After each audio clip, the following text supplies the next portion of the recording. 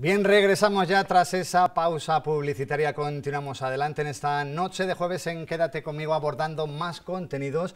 Nos centramos durante los próximos minutos en el fascinante mundo de la fotografía. Para eso nos hemos hecho acompañar por un gran artista de nuestra localidad. Damos las buenas noches y la bienvenida a Jerónimo Alba. ¿Qué tal? ¿Cómo estamos? Buenas noches, muy bien, gracias. Felicitarte en primer lugar, Jerónimo, por eh, el éxito de esa exposición que ha cogido hasta hace muy poquitos días la Casa Museo de Mijas, bajo ese título, ¿no? Mijas Burdeos, fotografías de ida y vuelta. Por la muestra han pasado muchas personas. Sí, ha sido muy visitada, ha estado prácticamente un mes y la hemos descolgado hace poco y ahora estamos ya eh, planificando porque el, contenido de esta exposición, eh, la idea es que ahora vaya a Burdeos, ¿no? por el cambio de Mijas Burdeos, fotografía de ida y vuelta, por el título. Y tenemos eh, ya la, la, sala prácticamente concedida en Burdeos para exponerla allí el año que viene. ¿no? Entonces, bueno, mostrar un poco en Burdeos cómo es, cómo es eh, la Costa del Sol. Eso es lo que vamos a hacer, centrándonos un poco en, esta muestra para que se hagan una idea. Fotografías de ida y vuelta por lo que está explicando eh, nuestro invitado. Ha contado con la colaboración, es una muestra entre dos personas, una exposición en la que participáis tanto tú como Jean-Dominique Dalé, un amigo tuyo, y cuéntanos un poco cómo surgió esa idea de, hacer esta muestra conjunta, esta exposición. Bueno, la idea en principio nace porque yo siempre tengo necesidad de hacer, eh, de hacer algo, ¿no? entonces me propuse hacer esta exposición concretamente de fotografías de mijas y eh, como Dominique es amigo mío, que lo conozco de hace más de 35 años, él se fue a Burdeos, él ha estado aquí o residía aquí. Sí, ha estado viviendo aquí más de 30 años y bueno, yo a menudo pues voy dos o tres veces al año a verlo a Burdeos, entonces pensé, bueno, ¿y por qué no hago yo fotografía de mi hija, tú de Burdeos, hacemos una exposición conjunta y luego le llevamos a Burdeos y demás? Entonces, bueno, también es una forma un poco de, de, estar unido a él, ¿no? Y de compartir un proyecto, en este, en este caso fotografía, que es lo que nos une. Eh, hay una clara diferencia entre los dos artistas que protagonizan esta exposición. Nuestro invitado se inclina por el blanco y negro, como ahora tendremos la oportunidad de, ver en imágenes, y en este caso, pues eh, Jean Dominique se inclina por el color, colores fuertes. El objetivo un poco creo que, que perseguís es que eh, la gente pueda captar a través de, esas imágenes cómo se vive, por un lado en Mijas o en una zona como la nuestra y por otro lado en Burdeos.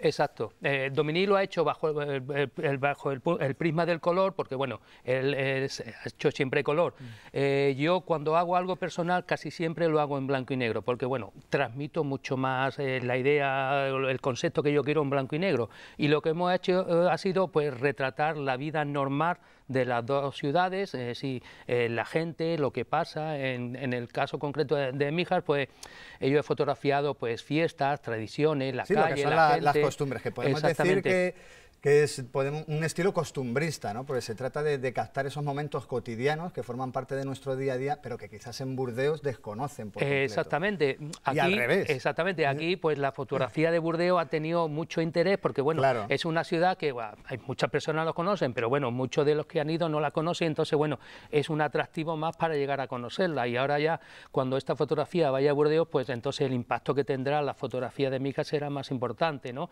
Eh, que el que ha tenido aquí o no no se sabe, pero en principio sí, por lo que yo siempre digo, ¿no? que lo desconocido siempre nos atrae más que lo que estamos acostumbrados a ver.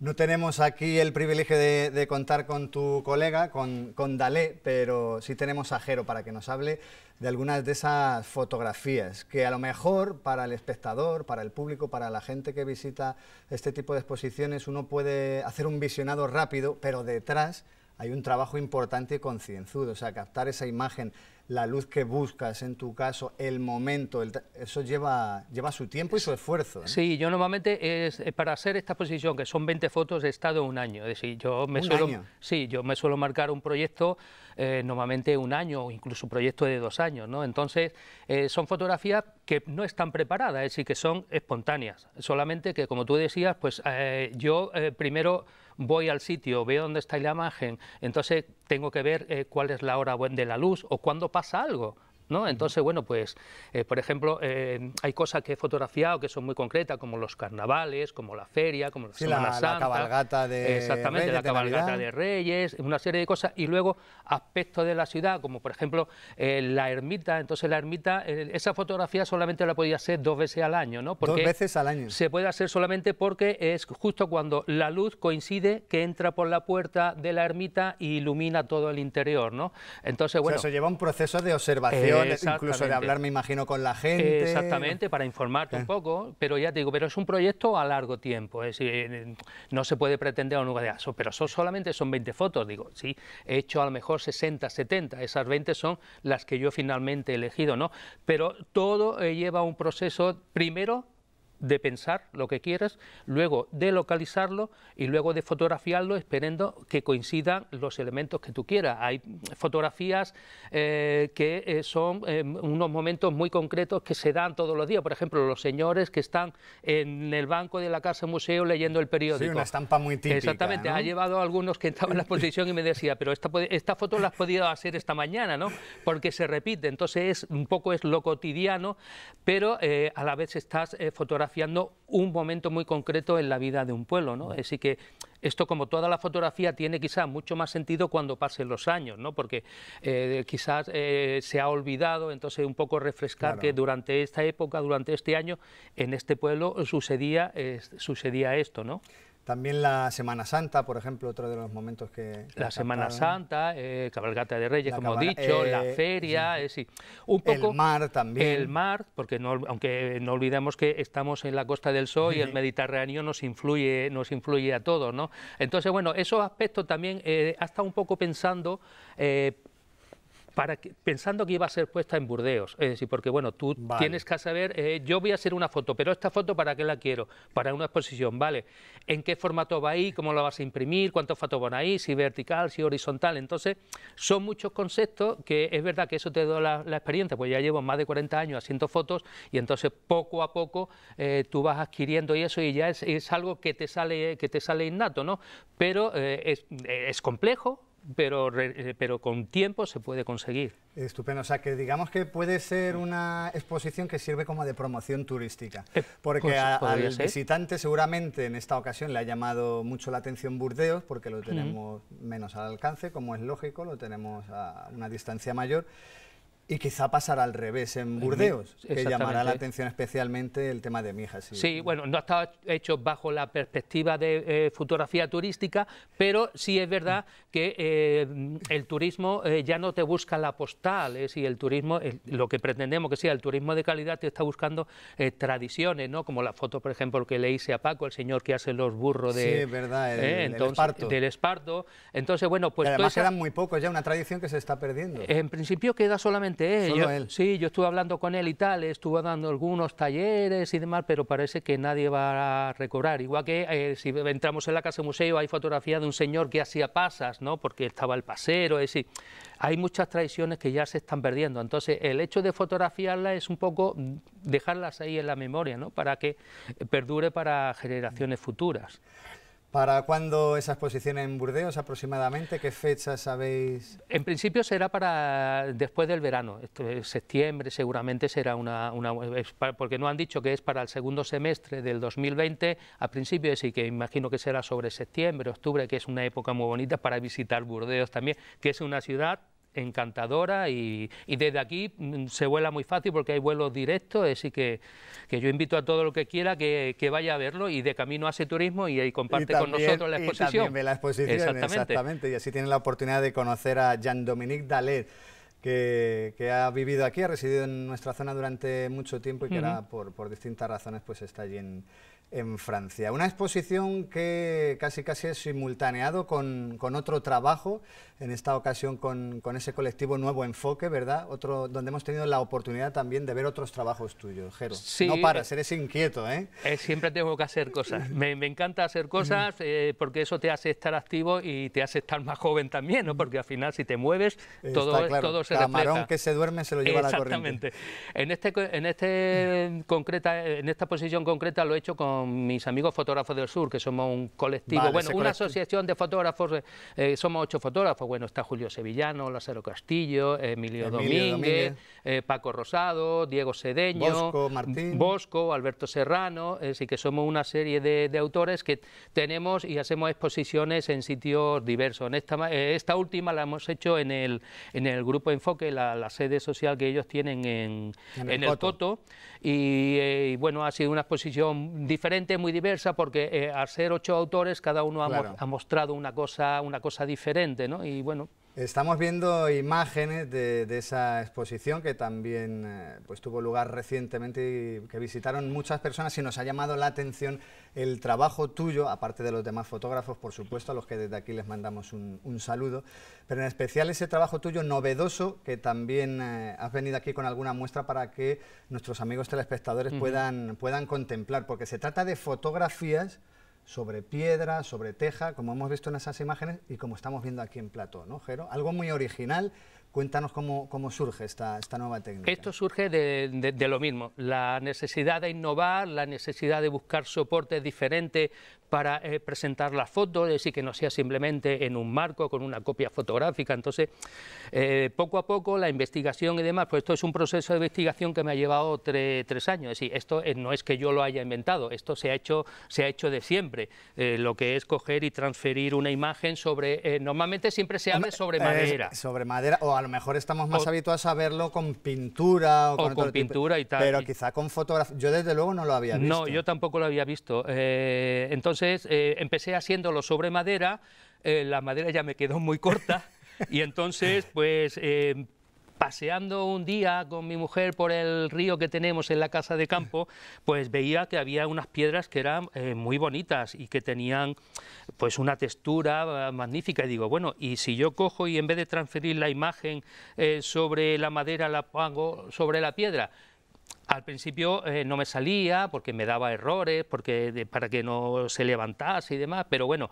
Sí, poco a eh, poco fuiste puliendo la, técnica. Yo no soy de los que se rinden. ¿eh? Si, yo, si tengo un problema, busco una solución. don, R que R. ¿no? Exactamente. Si realmente la cosa me interesa y la cosa me mm. interesaba, ¿no? Y entonces, bueno, pues empecé a hacerlo sobre piedra, empecé a hacerlo también, sobre, teja. Es decir, se puede hacer sobre múltiples superficies, ¿no? Es verdad que tiene que ser una superficie eh, que sea clara, ¿no? Porque si no la imagen quedaría muy, quedaría muy oscura y la técnica es muy fácil, ¿no? Porque simplemente es una fotocopia, de una copia en, papel láser de una fotografía eh, pegada sobre la piedra, eh, se deja unos días que se seque y luego se humedece el papel con agua, le vamos dando con el dedo, quitamos el papel y luego le damos ya una finalización con una especie de spray, yo, eh, yo le doy un barniz eh, semimate en spray, ¿no? Para que quede con, el, con, este, con este pequeño brillo y demás, ¿no? Entonces, bueno, son cosas eh, para mí muy interesantes y, seguiré haciendo y ya estoy buscando nuevos materiales. La verdad que es muy original, nos ha llamado muchísimo la atención y aquí pues tienen un ramillete mm. de algunas de las piezas, algunas de las obras que nos presenta este fotógrafo de nuestra localidad que les recordamos empezó hace, como el que dice antes de ayer, como fotógrafo en medios de comunicación, como por ejemplo Diario Costa del Sol, también en Sur, creo también en Sur, sí, sí, al principio empecé en prensa, trabajando en el diario Costa del Sol, luego en el diario Sur. ¿Colaboraste también con el ayuntamiento de Sí, en los gabinetes de prensa, el ayuntamiento de Mija, de Fuangirola, y luego, pues no, la necesidad un poco de evolucionar y tal, pues me hizo ya eh, dedicarme a la fotografía industrial, a la fotografía de productos, a la fotografía de viajes, entonces, fotografía publicitaria. Fotografía publicitaria, exactamente. Y eh, bueno, y continúo así con eso, pero lo que pasa que bueno, ahora ya también eh, lo mezclo con la formación, porque después de 40 años aprendiendo, digo, bueno... Ahora habrá que transmitir todo esto. Habrá que transmitir un poco lo que, lo que uno, lo mucho o lo poco que haya aprendido, ¿no? De eso precisamente de lo que queríamos hablar, porque mm, se dedica ahora también, compagina todas estas tareas con la docencia. Y está impartiendo algunos talleres que están teniendo un éxito tremendo porque las plazas se agotan, hay listas de espera. El último creo que fue un taller de iluminación. Fue exactamente un taller de iluminación y eh, se abría la inscripción a las 10 y a las 10 y media ya estaban todas las plazas. media hora volaron las plazas. Sí, sí, porque bueno, pues hay mucha demanda. Es verdad que los talleres son gratuitos, que eso también influye, pero eh, bueno, hay un, interés eh, creciente por los talleres que, que estoy dando, ¿no? porque intento hacerlo todo muy simple y muy práctico, es decir, que las personas que vayan a los talleres eh, no solo oigan, aunque oyendo se, hace, se, aprende mucho, pero sobre todo practicando. Entonces lo hago muy práctico para que eh, cada uno vaya eh, poniendo en práctica toda la teoría que vamos, que vamos dando. que no solo sea la teoría y luego que ellos intenten ponerlo en práctica, sino in situ allí intentar aprender. Si surge algún error y tal, pues lo vamos corrigiendo. O si yo veo, digo, no, mira, mejor eh, así o, tal. Entonces, bueno, doy mis consejos, que no son mis, no, no es ninguna obligación, ¿no? porque simplemente yo lo que lo que enseño es como yo lo hago. Eso no quiere decir que, sí, que haya más técnicas, otros estilos. Exactamente, exactamente.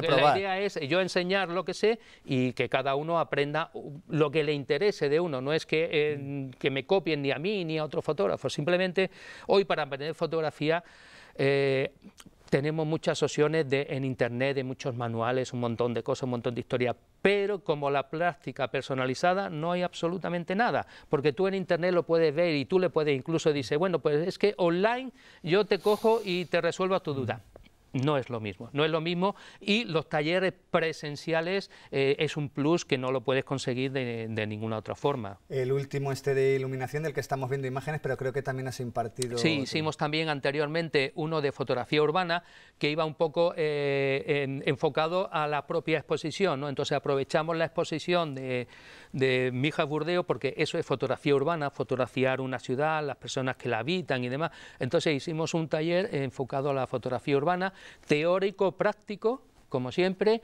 y bueno, eh, fue, fue, muy interesante, eh, sobre todo porque eh, luego salimos a hacer fotografías y al día siguiente cada uno llevaba su fotografía y yo comentaba un poco cómo lo veía, cómo no lo veía. Entonces es interesante para mí y es interesante, sobre todo para los demás, ver si, por ejemplo, hemos estado todos fotografiando esta calle, porque yo he hecho una foto diferente a la tuya, éramos 20, cada uno tenía una foto diferente, fotografía diferente.